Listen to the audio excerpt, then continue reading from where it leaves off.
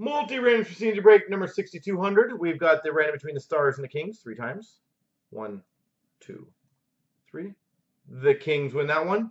And then what I'll do is whoever lands on number one gets a free spot. Number two, three, four, five. Since there's four winners, we'll get five pack lots of overtime. Good luck. Three times. One, two, three. D. Garwood gets a free spot in the next break.